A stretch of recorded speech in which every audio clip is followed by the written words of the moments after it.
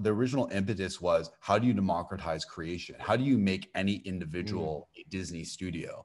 And i think that's the great power. I think it's it's not only selfish to like just build yourself a castle it's just also just not intellectually interesting. Anyone can become rich and famous themselves. It's, it's really not hard right?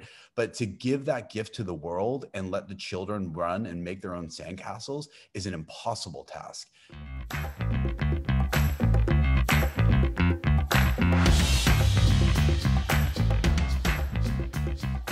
Hello, and welcome back to the Thrive State podcast.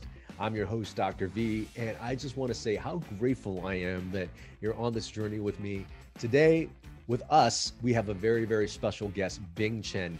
He is an entrepreneur, creator, and founder of Gold House, the premier collective of Asian founders, creative voices, and leaders dedicated to unifying the world's largest populace, Asians, to enable more authentic multicultural representation and societal equity.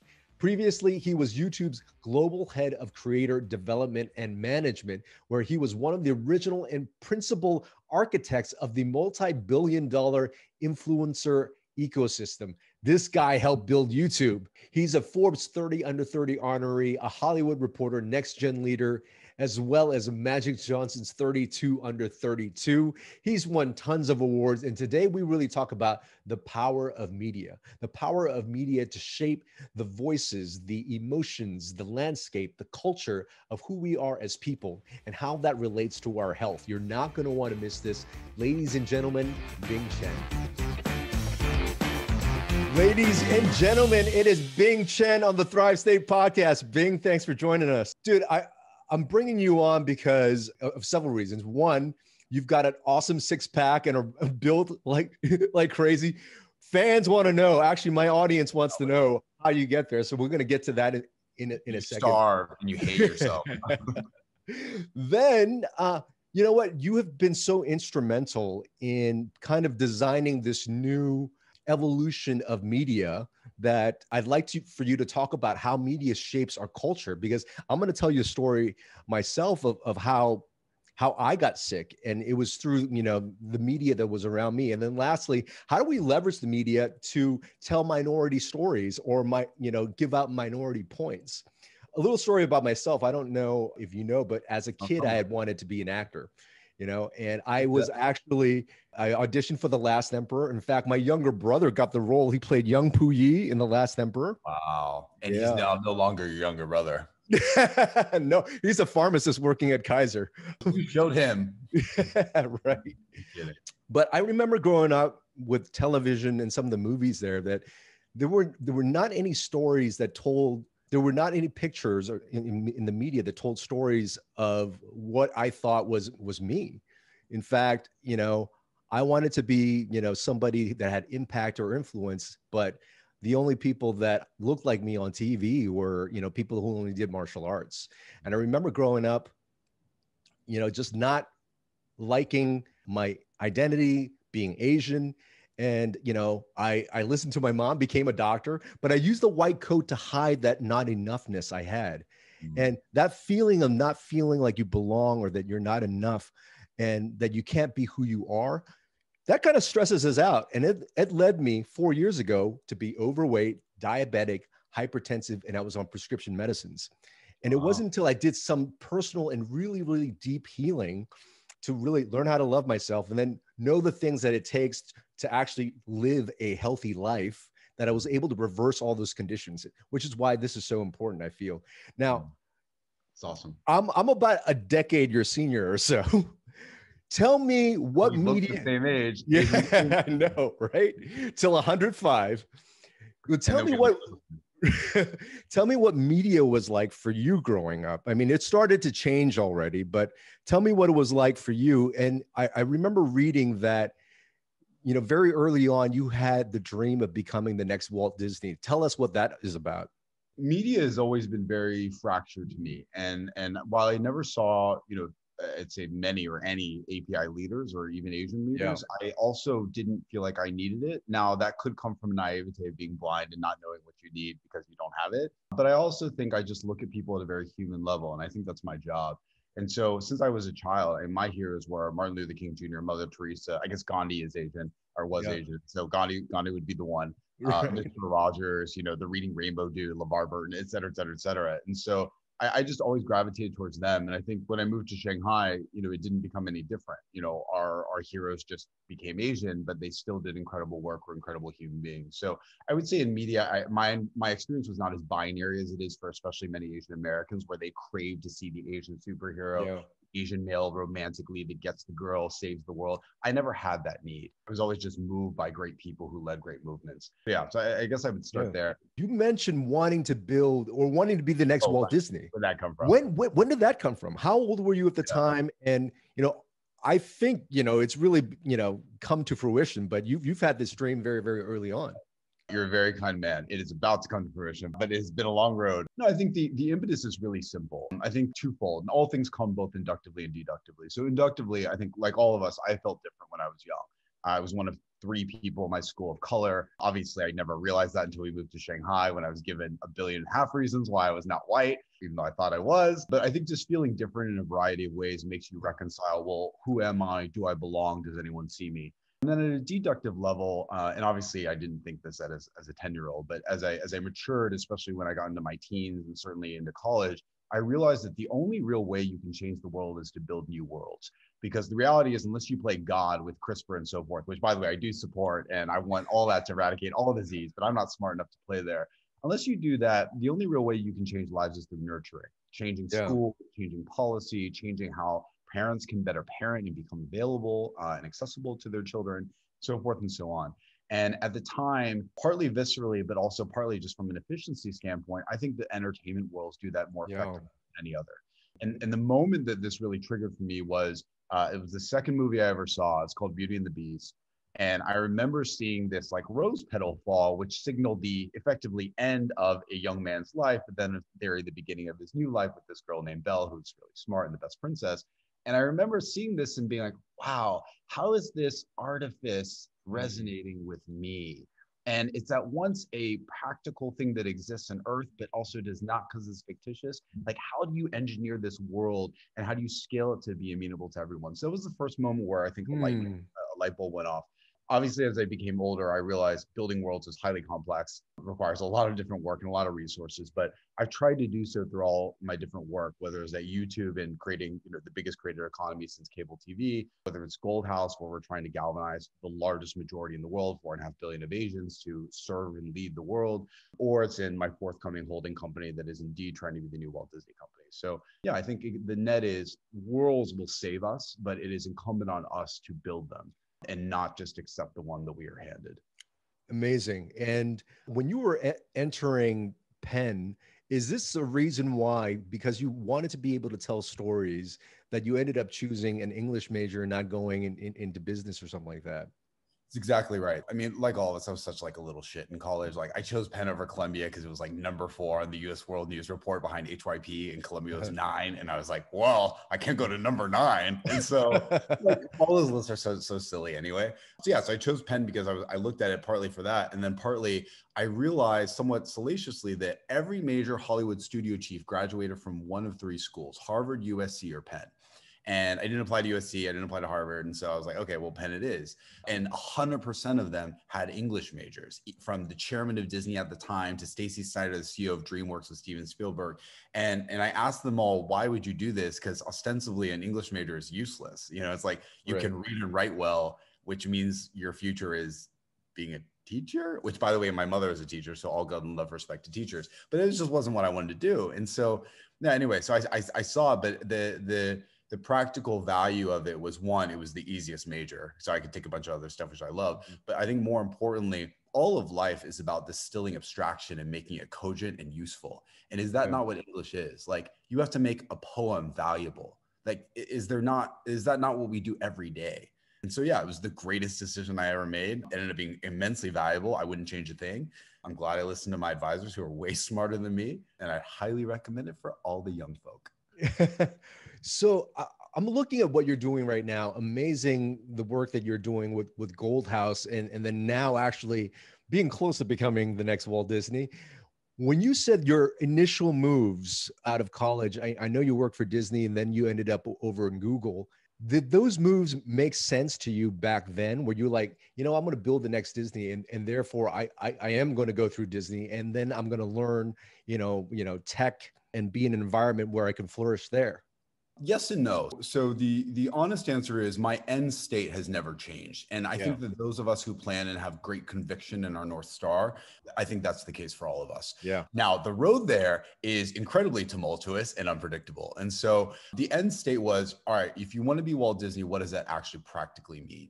It yeah. means you have to have incredible story sensibilities but then you also have to understand how to create systems that deploy those stories and make them highly interactive engaging useful.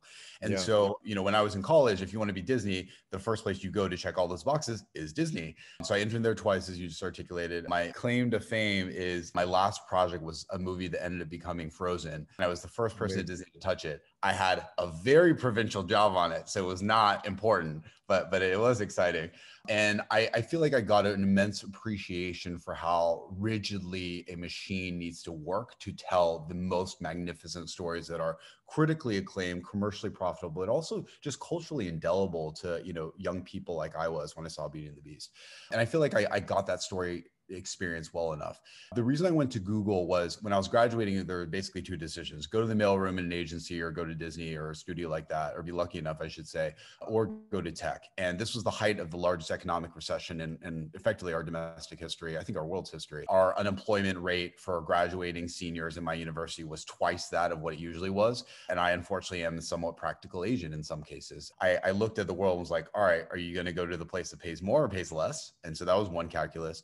But then the second calculus was as much as a 21 year old can portend, I thought that the next Disney was not like a, and this is obvious now, but a decade and a half ago or so, or a decade ago, like I didn't think that the next Disney was a walled garden. I thought it was a raised wall where mm-hmm. you democratize not only the distribution of content, which we take for granted now, was yeah. not self evident back then, but you also more importantly democratize creation.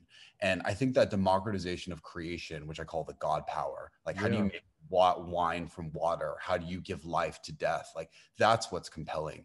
And there was no platform or company doing this better at the time than YouTube.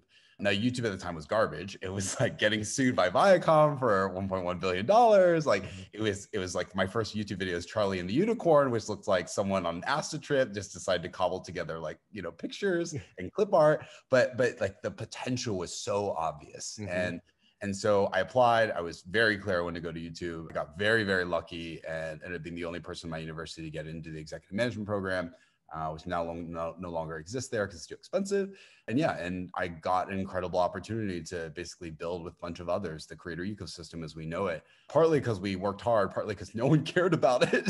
we were left to our own devices. What role did you feel like, you know, you had in terms of architecting this new creator community and platform for people. This wasn't something that existed before. It was major networks that decided what people saw and consumed.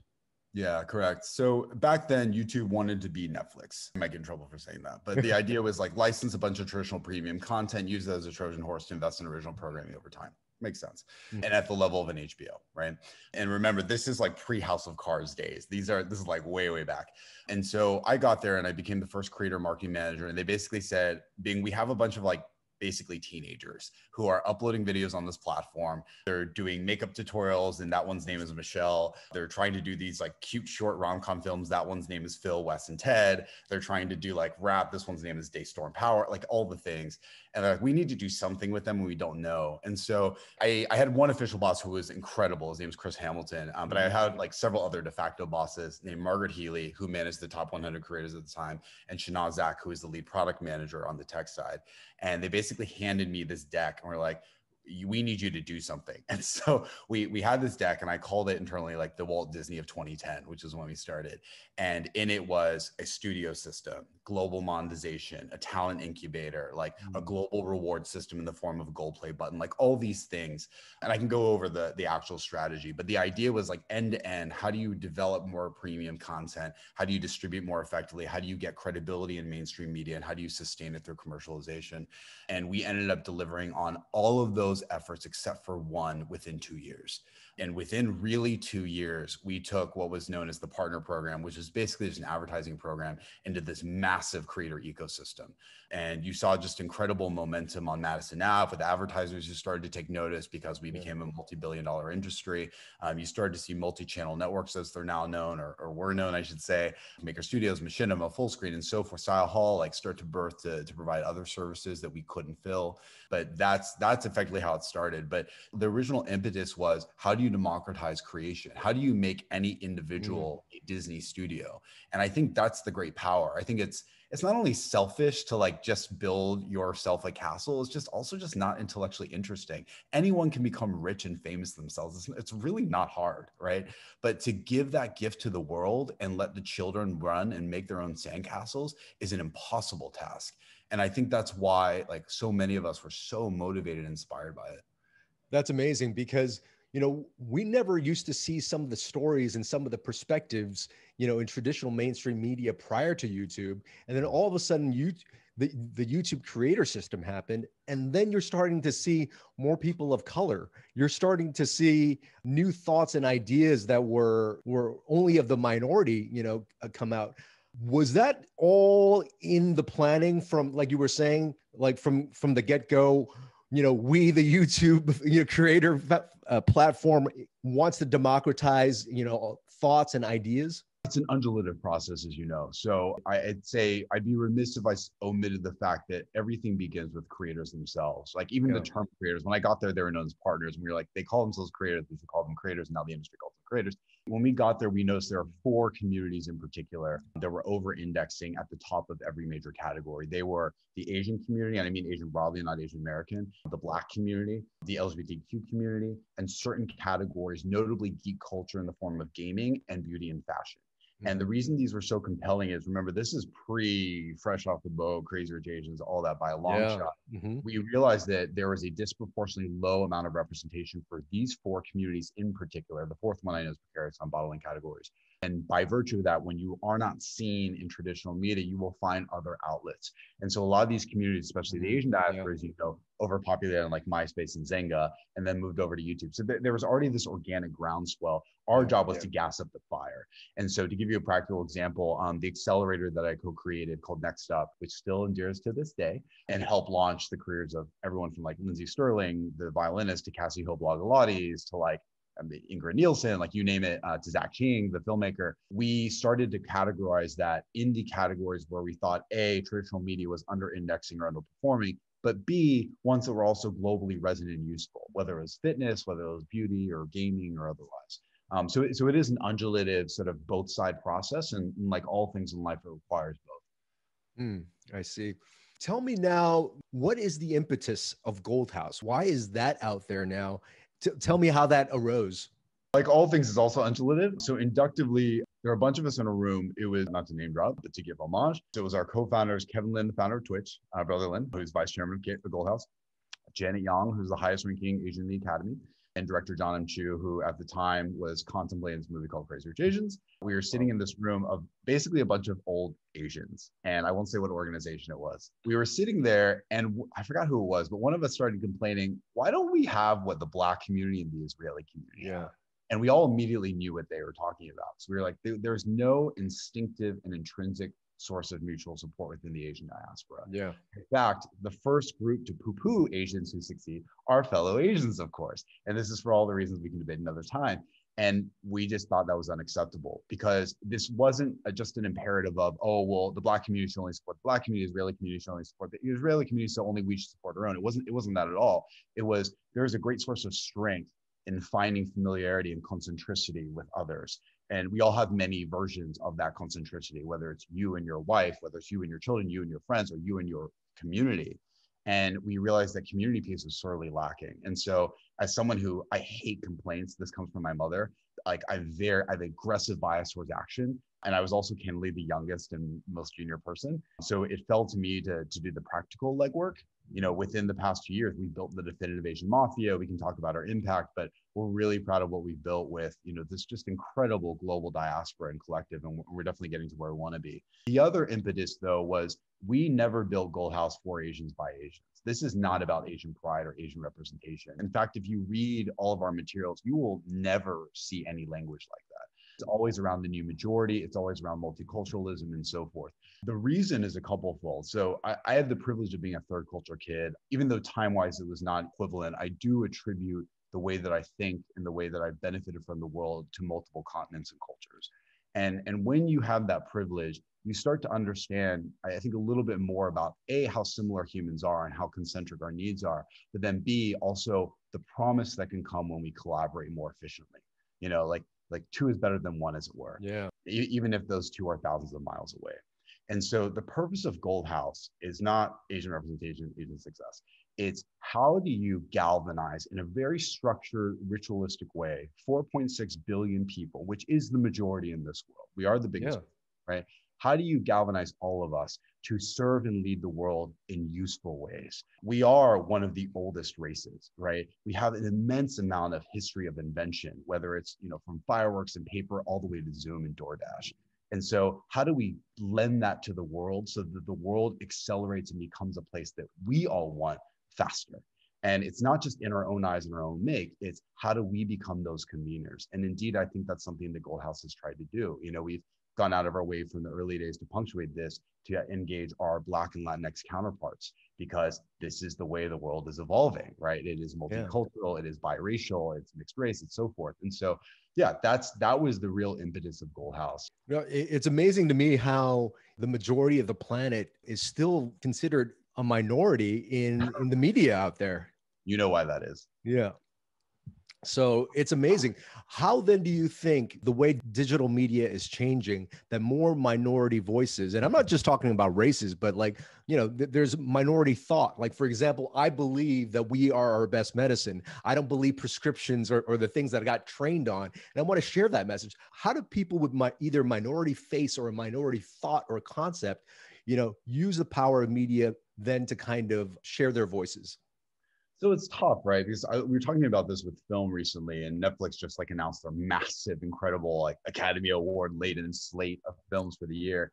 And while the democratization of access through device accessibility, internet connectivity, like heightened middle classes, especially in like developing countries, like all the things, while a lot of that has made it more made um, new voices or traditionally unsung or unheard voices more accessible, the reality is also neutralized their punctuation right? Like there is no like source of truth or pronouncement now. One of my favorite examples of this is Taylor Swift had the the best performing album last year, but candidly, each one kind of emerged and then disappeared. Mm. And that's partly because of the pandemic, but it's also partly because there's just a lot of great stuff out there, you know, yeah. whether it's in the artistic world or otherwise. So good news is more people are seeing. Bad news is I worry not only about is there going to be a single punctuated source of truth, and then also by virtue of that like what is the truth? And and this is where of course like issues like fake news and so forth are able to run yeah. rampant because there is no authority anymore.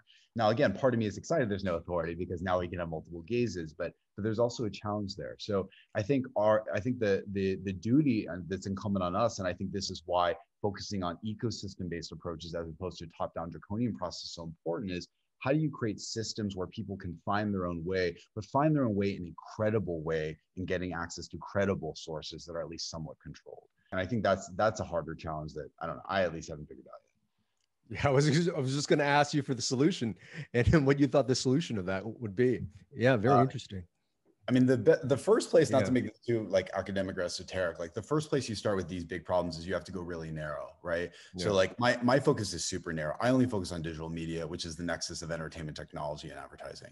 So like within like creative or informative experiences, how do we get people to like the best stuff that they want as yeah. frequently as they can? Now, all the other considerations of like geopolitics, medicine, education. Like I have no idea. Like I, I you know, that's your mm. expertise, right? Maybe we'll get there at some point through collaboration. But I, I think you have to go narrow and and what you know and what you feel like you can uniquely serve. Yeah. Let's bring up the the concept. Did you did you happen to see the social media on Netflix? I watched the first half hour. Yeah. So, I mean, you get some of the concept, right? I mean, we've got these devices that kind of, you know, sync our attention and be able to kind of steer our attention. Uh, how do you think consumers or, uh, you know, media consumers, you know, in the future, how do people actually maintain their own sovereignty in thought and not be lost in fake news or, or, or, or things that, that might be kind of directing their attention? God, this is such a hard question, Dr. Vu. I mean, I think I think the the first point, the, the first practical point is the outlet. So it is absolutely incumbent on platforms to adhere to their terms of services and particularly adhere to at least objective truth. Now, I'll I'll, I'll de- demystify and how do you say tear apart what truth yeah. is in a moment. But there are certain things that are just objective facts that are not up for debate. And it's incumbent on these platforms to reinforce that. Donald Trump being able to persist for so long, despite being a world leader on some of these platforms, was a mistake. He should have yeah. been gone long ago because he is mm-hmm. perpetuating actual lies uh, which we still euphemize as falsehoods for some reason. Yeah. The second place, though, becomes, and th- there's usually debate at the margins, and this is where truth starts to get very finicky and where opinions yep. mm-hmm. have to be heard and conversation needs to be had. I think here it's okay for things to run rampant. I think it's just incumbent on the platforms to create rails and context for that. So, to give you a very provincial but practical example, if you're on Twitter and you see a debate, there should be some insignia that denotes that this is actually the fact, and then below this is where there's going to be debate. So at least least you know through Rails, okay, this part is definitely true. Some of this may be true, right? Mm-hmm. Um, so I think that's where we start. So the platforms for sure. I think the second set are policies. This unfortunately is going to be really sluggish. No offense to the government, but all offense to the government. Policy always trails societal cultural yeah. changes because society and private sectors can move much faster for all the reasons we know. And I hope all of our young listeners go run for office and try to fix this. But policy would be the second place that we need to perpetuate this. Mm-hmm. And then finally is like personal life and parenthood. I don't believe that you can expect all humans to self-police. I think that's that's requiring people who are very busy, distracted, maybe trying to put food on the table, maybe trying to get their degree, maybe yeah. trying to hold three jobs. Like it's just too much. It's not fair. And so so that's why I say it's last class but at the end of the day this is incumbent on the individual and i think this starts with parenting i we don't have to debate what a good parenthood looks like you know half of this country under the age of 18 as a single parent often a single mother i did but you do need to have some form of mentorship that's consistent as you are engaging your formative years and because that as you know will shape how you just see the yep. world approach mm-hmm. the rest of your life so i think those are probably the three. Oh, amazing now digressing from media a little bit, I, have got my last two questions going down. I, I, had a lot of fan questions, but we only have time for one, and and it's coming from a, from a Kevin Kreider that we both know. Props to him. Bling Empire is about to launch on Netflix, and Kevin really wants to know. Look, you are, you're obviously a very energetic guy. You look super fit you're so eloquent and always on point. He wants to know, and I'm sure a lot of people also want to know do you have a morning routine that puts you in the energy, the emotion, and the, the mental state that you you know come with every single day is there a morning routine that you go through uh, there definitely is. I think, like everybody, it's it's not always consistent, and I think something that's constantly being optimized. I would say the first thing to be annoying is the morning routine starts at night. Yeah. Like I have annual, quarterly OKRs that I calibrate myself, my teams on, and so forth. So I know where I'm going and and when we're getting there. If we don't get there, then there'll be there'll be issues. And I think that consistency with the end state of the North Star is where it yeah. has to be I think the second thing is uh, I'm in bed pretty much at the same time every night. I don't subscribe to the bullshit of like, oh, like hustle porn, like let's get four hours of sleep and grind. Like I did that my first years at Google because everyone thought it was sexy. And we're fucking idiots. It's like that's worse than smoking and and just does not help anybody. So I get seven to eight hours of sleep without fail every night.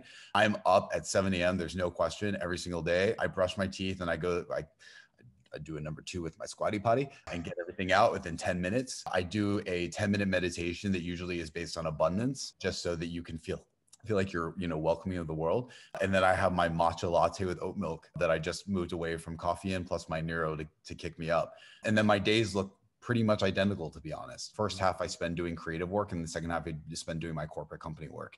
And then you know i go to the gym at the exact same time i have supper meetings and then rinse and repeat. I realize that may sound a little monotonous maybe not as monotonous as like a tim ferriss would make it but probably more monotonous than a lot of other people. But i think i think structure is really important especially yeah. when you're trying to execute a lot of things. So yeah so that's the morning routine. It's not anything excessive or fancy I don't like do affirmations anymore or anything like that that I probably should. But yeah, it's pretty simple. Um, but yeah, I think energy, like the, the intrinsic energy and enthusiasm comes doesn't really come from the morning routine, to be honest, Dr. Vu. Mm. Like it comes from genetics. So my, my mom and dad are incredibly ebullient and just like happy to be alive. Like, since I was young, I was very annoying. And I think secondly, partly genetics, but partly because of how I was nurtured and, and raised, uh, my parents raised me to think that everything was a miracle and that it was within my control to create more of that all the way down to like my parents almost never told me what to do. They would position things as choices. So I felt like I had agency. Mm. Like even things like that you know, mm. made me believe that wow, the world is wonderful, but imagine how much more wonderful it could be in blank, blank, blank. And I think that's just a perspective I bring everywhere. It's entirely because of my parents. And and I think I, I know not all of us have the privilege of doing that and the financial yeah. work, I'll do that. But the, the more that we can, I, I think not only the happier we are, but the the greater the things we can build, you know? Yes. No, it's it's it's that energy of I have enough, I am enough, and and everything is gravy such awesome points there. Last question for you, Bing. Everything that's happened in your life, what would you say has been your best medicine? I would say that knowing that hope is a four letter word mm. is the best medicine. So let me tell that apart. So I don't really, and maybe I'm negative on this, I don't really subscribe to like oh, there's like always a way. Everything happens for a reason. Like hope is the thing with feathers and you will be fine. And like, I think it's all bullshit. Like any anyone who has ever had to weaponize hope has been in hell. Like it, they have absolutely been in like they've had medical conditions, as you just alluded to mm-hmm. earlier, like they've lost their job, they've lost a parent, they've lost like whatever it is. And they needed some source of hope that is very heavy to get out of it. Yeah. And I think that I think it's partly because my mother especially when my father passed away like mm-hmm. i know what hope is and i'm a res- i'm relentless as hell because i know what it takes to get through things because i've been through it. And we all have. Like we all are at war internally. Some of us just don't show it right? And in fact i think that those of us who survive the most are the ones who don't. And so i think that's the best thing. It's that like success doing great things all that comes with a price and and that price gets bigger and bigger the greater ambition is. And so the question is do you have the heavy hope to get through it or are you going to defect and choose the road that was all traveled by everybody else? Uh, that's beautiful. Hope through your best medicine. That's beautiful. Bing chen thank you so much for joining us today. Thank you for your time brother. Thanks for having me Thank you for joining me on this episode. If you received value, I truly, truly appreciate it. If you could leave a five star review, it will help the show grow. And I'd love to connect with you. You can follow me on Instagram, Facebook, and YouTube at KienVuMD. If you haven't already, pick up a copy of my book, Thrive State, at thrivestatebook.com. And remember, you are your best medicine.